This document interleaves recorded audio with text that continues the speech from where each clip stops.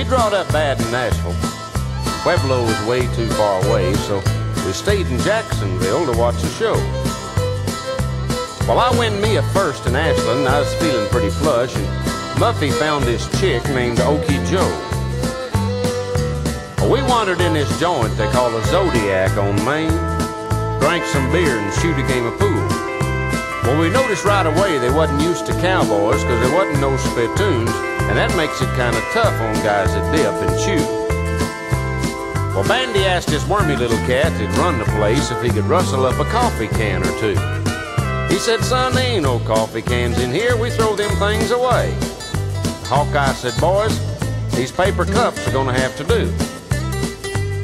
Well, it's getting close to midnight and we was having lots of fun. Was shooting pool and drinking tubs of beer.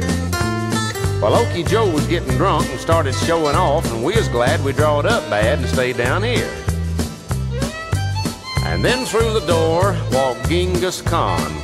I bet he is eight foot tall and could have held the state of Texas in his hand. Okie Joe looked like a bolt of lightning hit her where she lived. She turned around and she said, Muff, that's my old man.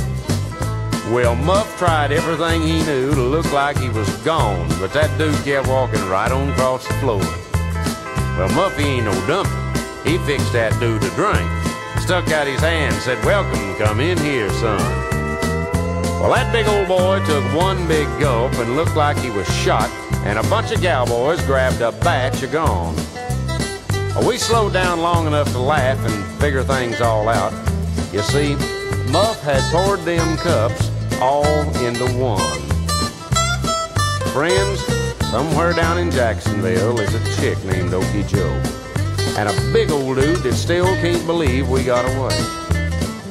And there's a bunch of cowboys that ain't likely to forget the night the Copenhagen saved the day.